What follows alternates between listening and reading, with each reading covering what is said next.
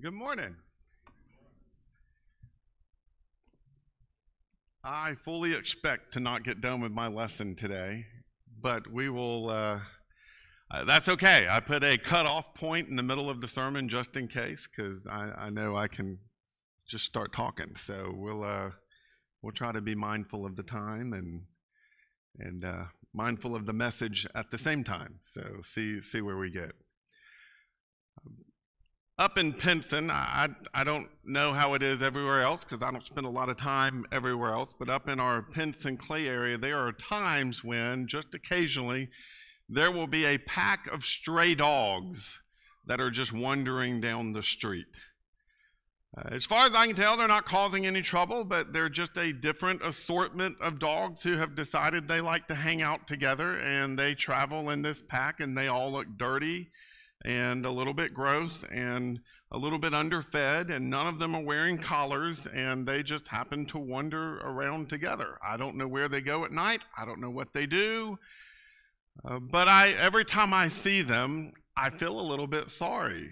Uh, I, I've, my, my heart goes out to those dogs, and I kind of want to take them in. My children would gladly let me. I don't know that my wife would be in agreement with that. Uh, so those dogs continue to wander around as stray animals. And I imagine probably most of us have seen that. We've seen those stray dogs that live on the streets, live in the alleyways, wander through the woods, and we probably have all had those same uh, connections to them where we they're either such a nuisance we want to figure out what to do about them or our heart goes out to them and we, we want to take them in. We, me and you, are strays. I was thinking about this this week and thinking about it particularly in the context of how do we deal with people that are different than us, who have chosen a different pathway than us, who have chosen a life of sin or a life without God? Whereas we have chosen a life with God. And how should we treat those people? How, how, should we feel toward those people? How should we handle their questions or their objections or their arguments that they might throw at us? And I think we should treat them like strays. And hopefully, you'll know what I mean by the time I get done this morning. The truth is, we're all strays. We all begin with God, and the Bible's fairly clear about that. Uh, you've got passages like Romans chapter 7, which talk about the unimputed sin of Paul, or to put that in probably simpler terms, the sins what he had committed, but he wasn't being held guilty for. Sins that it seems he committed before he was really responsible to the law, before he was being judged by the law. He had done things that were wrong, but those things weren't imputed to him, seemingly uh, a reference to his young age. Even Jesus himself talked about becoming like children, as if children had a special connection to God. And we have all come to the conclusion that children, before they come to what we have titled the age of accountability, they are right with God. They're safe. I, I like to qualify people in one of three categories. You're either lost, saved, or safe. And there are some people who are safe. Children are safe because they've begun with God, but at some point in their story, they run away from God and become strays. Lots of verses talk about this. Isaiah 59, 1 and 2 talk about our sins have separated us from our God and created a gulf between us and him. Romans 3:23 says we've all sinned and fallen short of the glory of God. We know Romans 6:23 says the wages of sin is death. We're separated from God. We become at some point in our story disconnected from the God we began with. At some point in our story, while we used to live in the home of God, in a sense, we used to live in the comfort of God's protection, the comfort of God's acceptance. At some point, we reject that and we run away from God and we go to live on our own, do our own thing, our own way, the way uh, we want to live. That's what we do. And we find ourselves like a bedraggled, malnourished dog wandering on the street. We find ourselves strays. And we end up with the choice of whether we go home to God or whether we're going to stay distant. And unfortunately, there's a lot of people who choose to say to stay distant from him. Now, what's interesting about those people who never come back to God, who don't pursue God, who don't go after God's way, those people still seek fulfillment. They still want to have a fulfilled and full life. They still want to have the joys that come from knowing they have purpose, knowing they matter. They still look for acceptance in a community. That's why I find it interesting that dogs often are strays in packs, not on their own even though it would make sense for them to be on their own because, hey, if there's food, then they get all of it. They won't. They travel in packs. And, and people do the same thing. When we've lost our God, we've lost that, that place where we belong, we look for a place of belonging. We look for a community that we can be a part of. We look for acceptance among people who are like us. We seek after joy and enjoyment and pleasure. We seek after the things that, that we want to do, the things that bring us a smile on our face. Those are the things we pursue. We seek after some sort of purpose, some ideal that we can, that we can achieve, some, some bigger thing than us that we can go after. Those who stay away from God still look to succeed. It's not that they've given up on life. It's not that they've given up on, on, on having any sort of good thing. They still want good things, but they want good things their terms. They want to be able to define what's good and what's bad, and they want to be able to choose whether they're whatever it is they want to choose.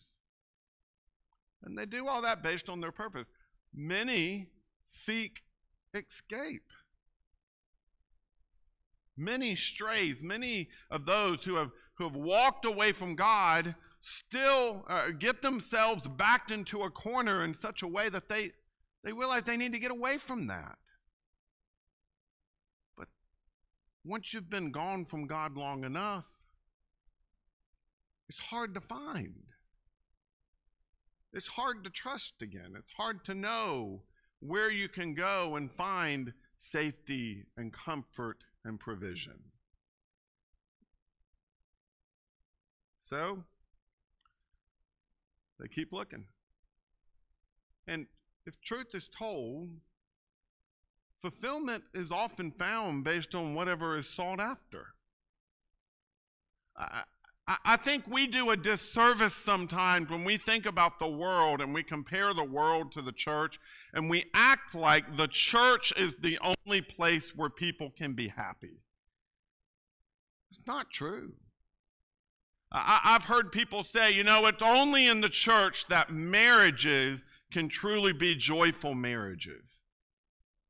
I, I know plenty of non Christians who have great marriages. They feel like only in the church will you be able to find something to truly have joy about. That, that's just not true. The truth is, God has placed a lot of joyful things in the world for His creation to enjoy. What is it that Jesus says? He causes the rain to fall on the just and the unjust, the sun to shine on the righteous and the unrighteous. We're experiencing the same world. And just like we can find fulfillment and happiness and laughter and good things in this world, so can those without God. It just depends on what you're looking for. And many of those people, they find communities that are ready to accept them as they are. Even communities built around sinful activities, you can find community. And there are communities for everything now.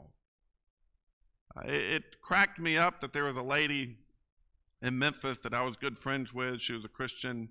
And she had, before uh, becoming a Christian, she had gotten involved in what was called the Camaro Club. She had bought a Camaro just so that she could be a part of the Camaro Club. She hated her Camaro, hated it. Hated the car payment she was paying. There were so many things wrong with that car that she didn't enjoy, but she was part of the Camaro Club. And the Camaro Club was a place where people got together and they would talk about their cars and they would have a, a, beer or wine or whatever together and they would meet once a week and it was a community that she could be involved in and she so so desired to be a part of a community that she bought a car she didn't like so that she could be a part of that community you ever seen bikers riding together you heard them before you saw them right that's normally the way it goes why do they all ride together? The community. There are religious communities. There are communities based on sexual orientation, communities based on hobbies and entertainment and possessions and whatever it is. There are communities out there ready to accept you. So if you're looking for community and you're astray, you find your community. There are temporary joys everywhere in this world. Now, notice I say temporary joys. I don't even mean fleeting joys like it only lasts for a moment. It might be a joy that lasts for a lifetime. But that's still temporary. And so, for those who are looking for joy and enjoyment and pleasurable things, this world is full of that. We like to kid ourselves that it's not, but the truth is, if sin wasn't enjoyable, we wouldn't do it. That's why it's tempting. And so there are plenty of places you can go in this world to find temporary joys. Purpose has been redefined for many people. People find escape in drugs and alcohol and blaming other people. I would even say in activism. I know that sounds weird, but you know how many people find their purpose and find a sense of escape from the from day-to-day life by being involved in some sort of activism, some bigger thing than themselves, some great purpose they've given themselves, and so they become this activist for this cause because it's something they can identify with. It's something they can escape the monotonousness of everyday life in order to find something to be a part of. Well, here's the problem. We who have come back to God realize there's a better way.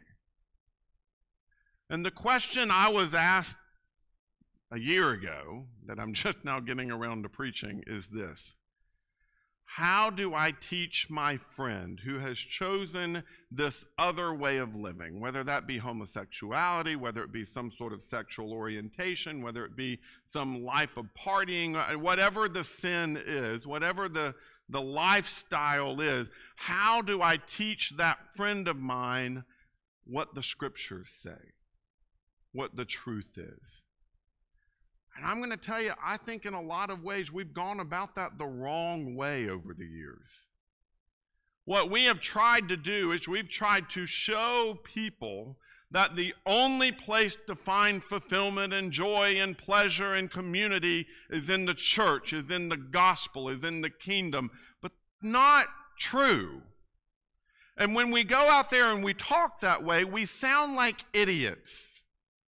We sound like we don't know what we're talking about, or we sound dishonest as if we're making stuff up that they know isn't true. It's not the right way to do this. The truth is,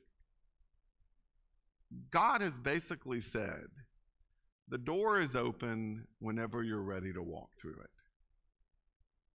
And that's where God leaves it. There's a lot of people in this world who are looking for things and finding things and finding ways to find fulfillment and ways to fit in and all of those types of things. And they're ultimately going to realize that those things aren't getting them anywhere. But the problem is, most of those people don't know that there is somewhere else to go. Because those of us who have walked through the door of salvation don't tell anyone about it. I love these passages that talk about, like Jesus in the Sermon on the Mount ask and you'll receive, seek and you'll find, knock and the door will be open to you. For he who has asked has received, and he who seeks finds, and he who knocks, the door has been opened for them. Revelation chapter 3, verse 20 talks about Jesus standing, knocking at the door. That he's there uh, just just knocking on the door, waiting on somebody to open that door, and that he's knocking on everyone's door. Question is, are they willing to walk through it? Well, we're going to talk about what will what will help that in a moment.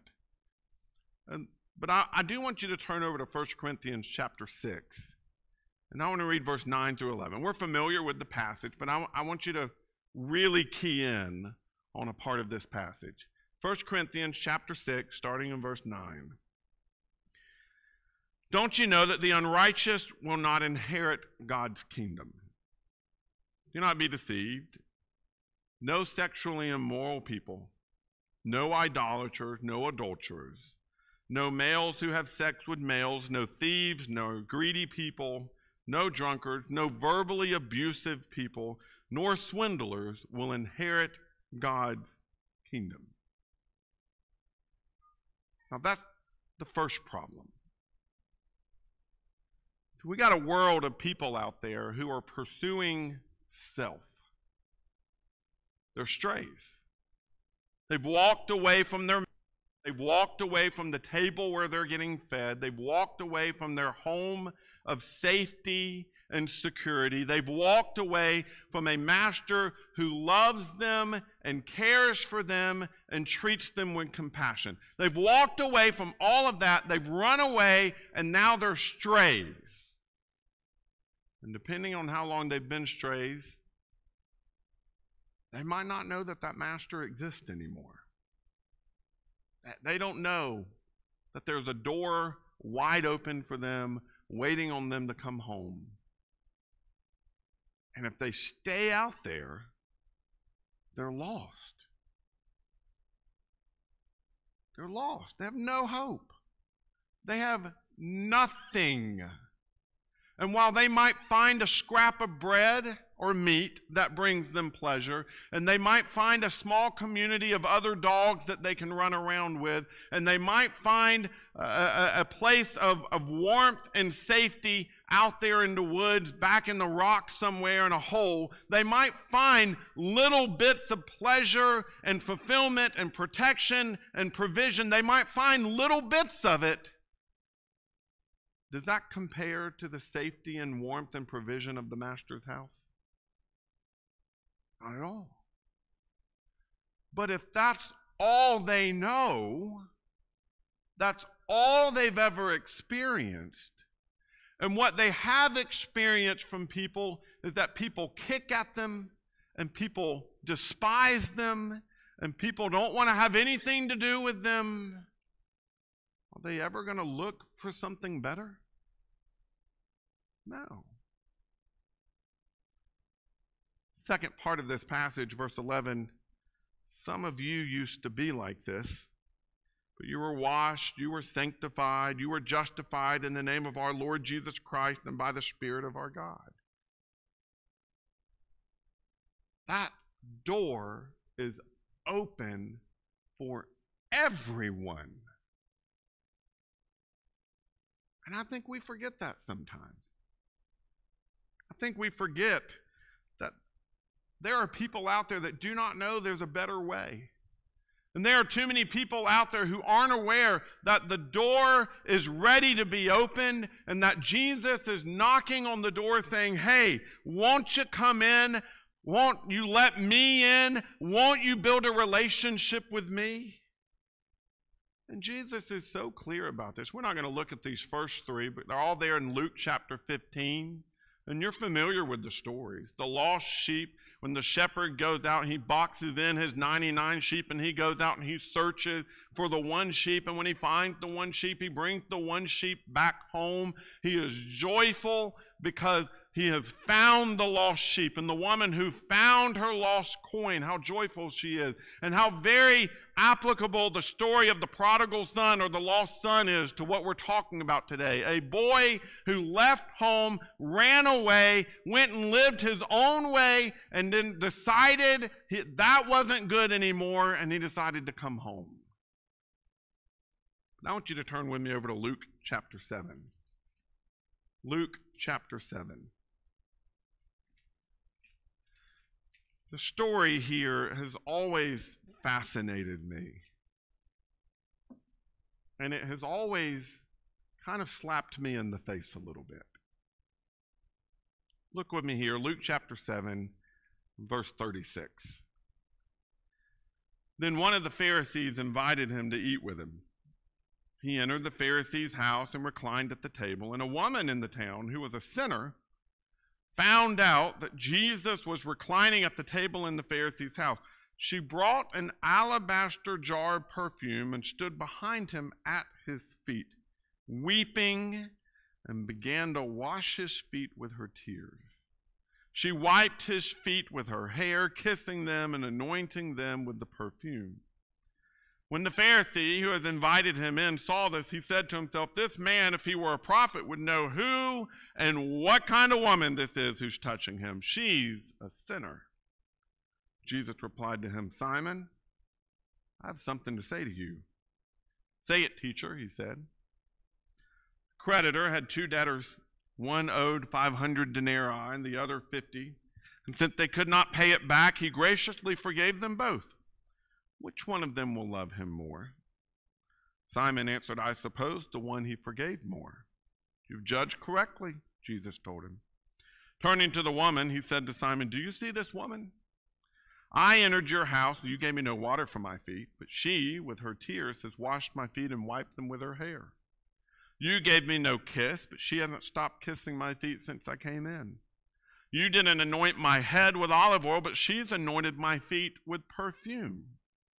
Therefore, I tell you, her many sins have been forgiven. That's why she loves much. But the one who has forgiven little loves little. Then he said to her, Your sins are forgiven. Isn't that a beautiful story? I mean, did you really pay attention to the details of the story? That here's a, a Pharisee who is so disgusted by a sinner. Now, I want you to note something. The sinner in his house, he's disgusted by her, at least publicly. And he looks down his nose at her. He doesn't want to have anything to do with her. And he uses her as a catalyst for criticizing and condemning Jesus if he really were a prophet, he would know this woman shouldn't be anywhere near him. He showed his ignorance and his own hypocrisy in saying that. He showed hypocrisy because here's a woman who, who's in his house. He didn't complain about that. He just used her to complain about Jesus.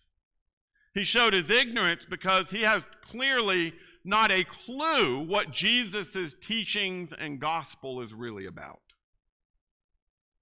He doesn't understand the teaching of forgiveness. And I love that Jesus' parallel there showed just how greatly what she did diminished what Simon the Pharisee had done. Simon couldn't be bothered to wash or to give Jesus water for his feet. But here, this woman gave her tears and did the washing for him. And Simon couldn't be bothered to greet Jesus with a holy kiss, but here, this woman hadn't quit kissing his feet since he came in.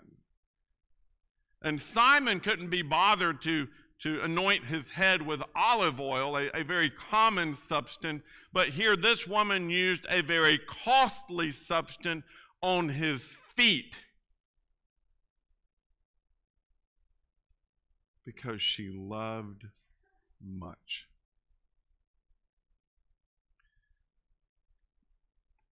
Truth is, I think the way that we handle the world looks a lot more like this Pharisee than like this woman.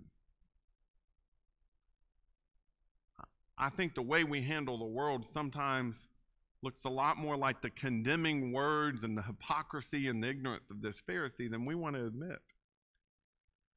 We can turn up our nose at those nasty, malnourished, skinny strays. They're different than us, they're gross, they're unloved, we don't want to have anything to do with them. We don't want to have to be bothered. We don't want to have to deal with all the baggage and difficulties that come with helping somebody who, who has suffered so much without God. There's a story that was written down from back in World War II. There was a Christian man living in one of the countries over there uh, where there were concentration camps and such. And he, he wrote this. He said, I lived in Germany during the Nazi Holocaust. I considered myself a Christian. I attended church since I was a small boy, and we had heard the stories of what was happening to the Jews. But like most people today in this country, we tried to distance ourselves from the reality of what was really taking place. What could anyone do to stop it? A railroad track ran behind our small church, and each Sunday morning we would hear the whistle from the distance and then the clacking of the wheels moving along the track. We became disturbed when one Sunday we noticed cries coming from the train as it passed by. We grimly realized that the train was carrying Jews. They were like cattle in those cars. Week after week, that train whistle would blow. We would dread to hear the sounds of those old wheels because we knew that the Jews would begin to cry as they passed by our church. It was terribly disturbing. We could do nothing to help those poor, miserable people. Yet their screams tormented us. We knew exactly at what time the whistle would blow, so we decided the only way to keep from being disturbed by the cries was to start singing our hymns. By the time the train came rumbling past the churchyard, we were singing at the top of our voices. If some of the screams reached our ears, we'd just sing a little louder until we could hear them no more. Years passed, and no one talks about it much anymore, but I still hear the train whistle in my sleep. I can still hear them crying out for help. God forgive all of us who called ourselves Christians, yet did nothing to intervene.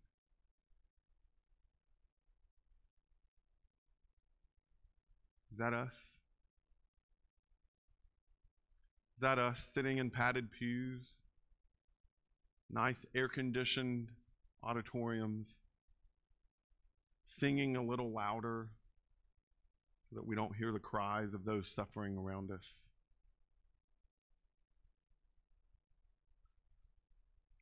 Before I've told you about the words of Penn Jillette, He's the part of the Penn and Teller magician team that does their show in Las Vegas. He is a he is a well-known and outspoken atheist.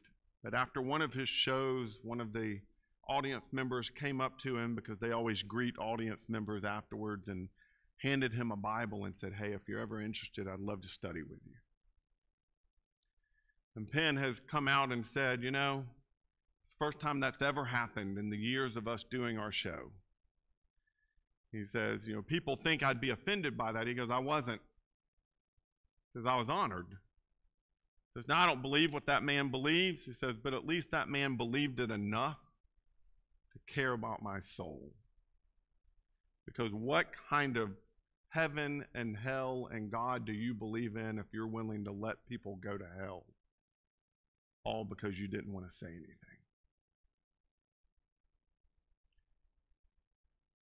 You know, we can, as Christians, look at all those malnourished dogs around us, those unloved animals,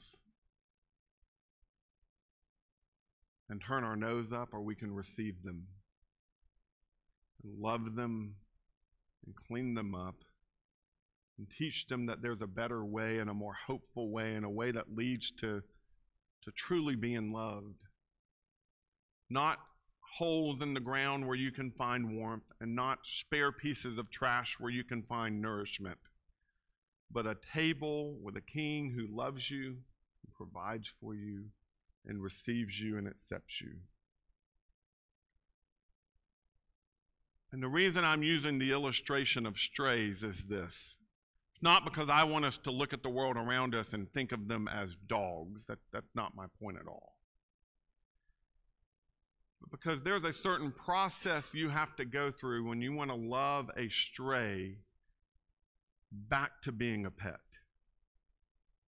And it begins with displaying to that stray what it means to be loved. That, that's part of it.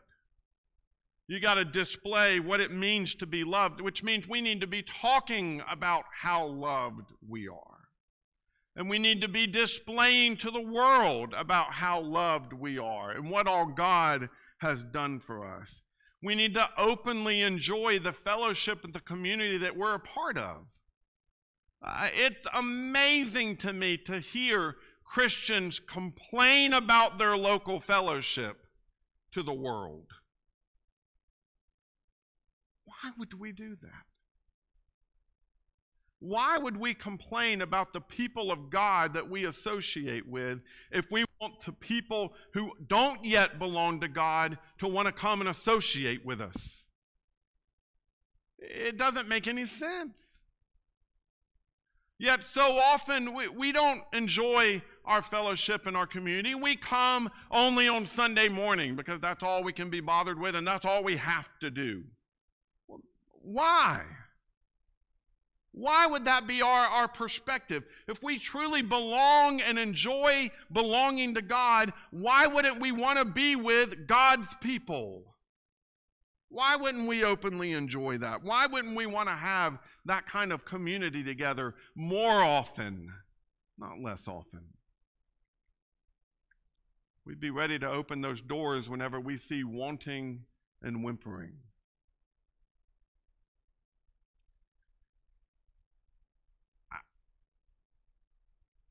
Every single one of us, every single week, gets opportunities to share truth with somebody. I don't care if you work a full time job, that's probably the easiest way, but even those of us we have we're connected these days like we have never been connected before.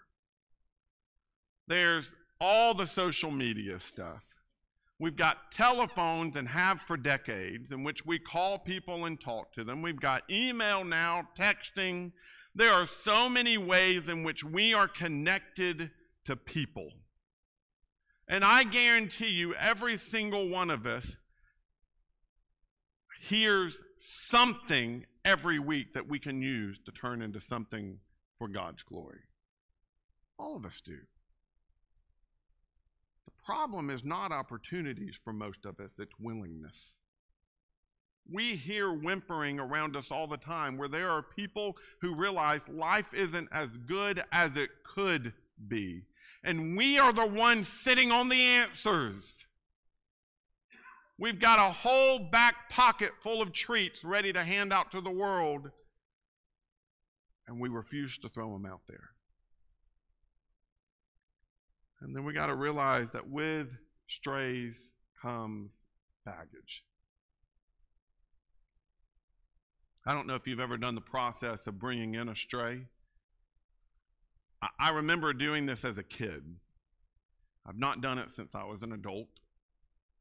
But I remember doing this as a kid. And it is amazing how skittish and standoffish that stray will be for a while. They, they don't, you reach out your hand, they do that. They're used to being kicked at and swatted at and unloved and beaten down and they don't trust anyone or anything because they've lived a life that has caused them to not trust anyone or anything. And it takes a while to love a stray back to a level of trust that you can build a relationship with them.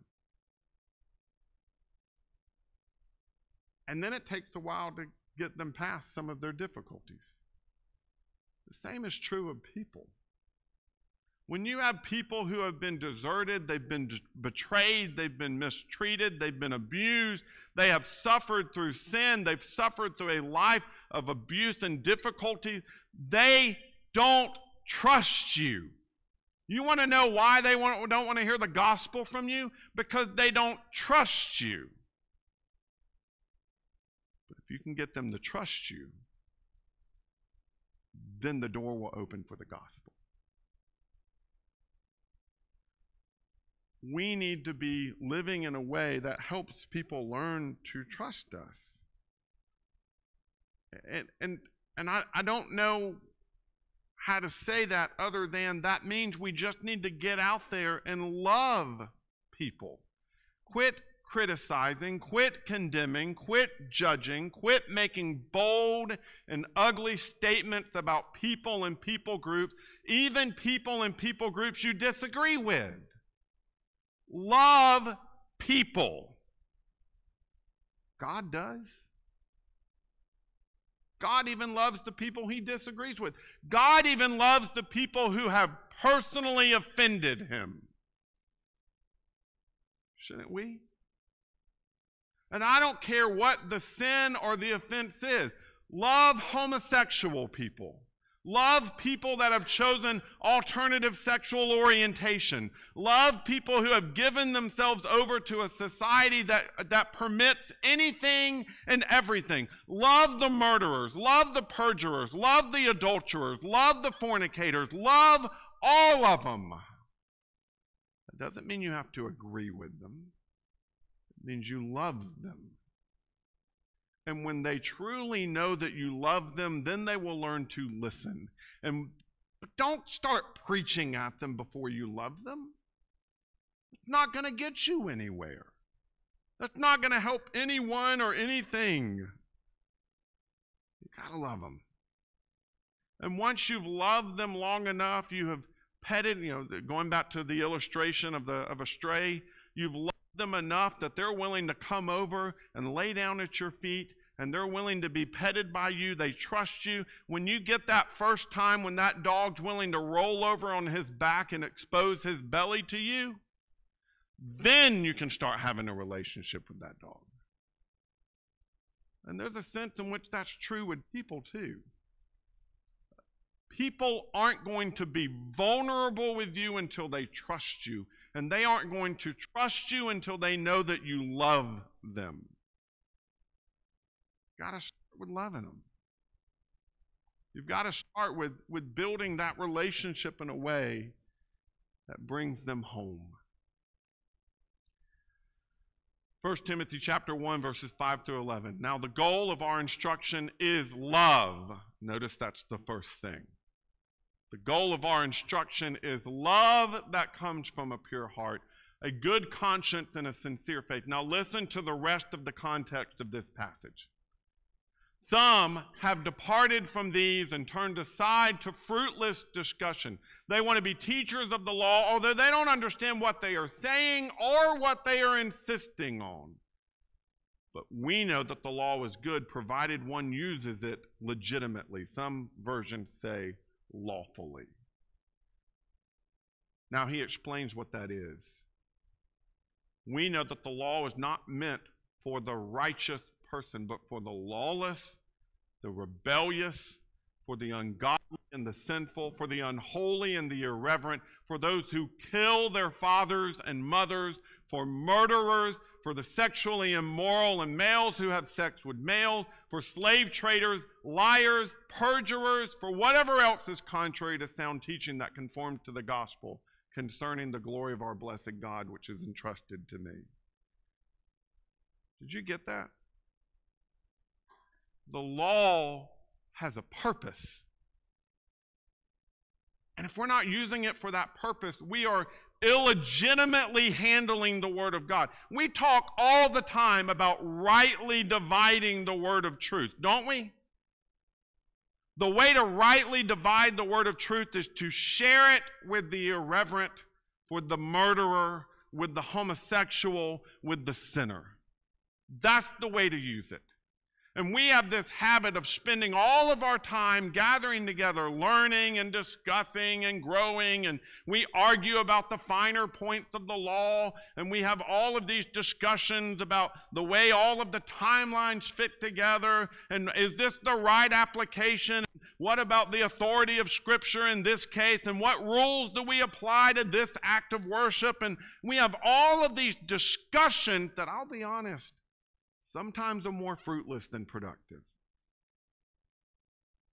And we do all of that to the absence of taking the law to the murderer and the homosexual and the sinner and our neighbor and our coworker and our family. And I'm afraid we're going to get to heaven one day and God's going to say, hey, it's not going to be a test an academic test of how many stories you know. It's going to be a test of how did you use the law for his purpose. Did we? We don't take the law to the people who it was intended to help, and we have, because of that, used it unlawfully. Our command in Scripture is to take the law to those for whom it is intended the lawless, the rebellious, the murderers, the slave traders, some of your versions even say. That's where we take the law. We doing that? Is that how we've used it? Do we have a history and a lifetime that looks like people who have gone out there and shared the gospel with strays? I mean, I'll be honest. This congregation should not look like a pristine congregation full of people who have it all together, but it should look like a congregation full of people who are trying to pull it together. That's what God's church is supposed to look like. If we're taking in strays. It's hard. It's a lot of work. And it's uncomfortable work. You know, the truth is, you reach out for that stray the first time, you run the risk of getting bit. You reach out to love on that stray the first few times, you're probably going to do a lot of work trying to get them to trust you. But when they finally do, like Jesus' story of that woman with the perfume, they are loyal, they are loving, and they love much because they've been forgiven much.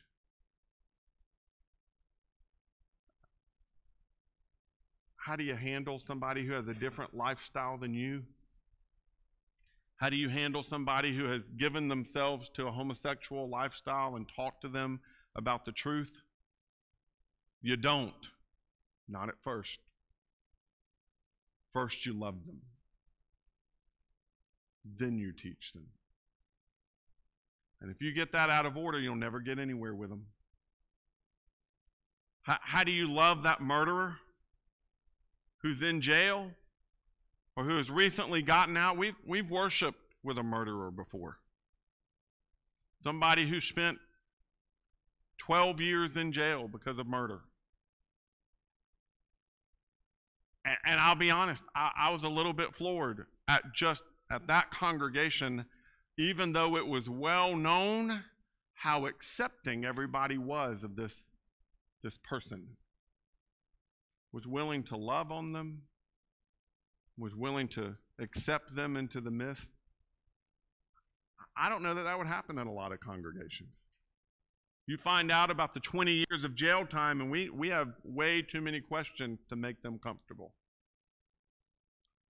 I'm not saying we shouldn't be informed, but I am saying that that person should feel loved. And if it's a homosexual person, uh, what do we do that first time? Because it will happen at some point where there's a couple that walks in here willing to, and, and ready and expecting to be accepted for the way that they're living, and, and we have to have those conversations with them. What do we do about that person who has, who has had surgery to change themselves in a way that matches what society says they should do, and now they're, they're struggling with what to do next? How do we handle that? In every single scenario, the answer is the same. We love them and then we teach them. And until we can learn to love them first, we need to be careful about what we're teaching. Because we could do so much harm in turning them away from the cause of Christ by coming across as judgmental and condemning and ugly and rude and hateful if we don't build that relationship of trust first. I hope down the road that that we look like a congregation of strays. Because then we're doing the Lord's work. And we're doing it the way He's commanded us to do it. And we will have relationships with people that we never thought we'd have relationships with because because they love the Lord the same way we do. And they serve a Savior who saved them the same way He saved us. We can all be redeemed and go to heaven together. If you're not a child of God, today is a great day to become a child of God. I don't care what you've done in your past. I, don't care if, if you've struggled with, uh, with, with what we would consider minor sins or major sins. They're all sins.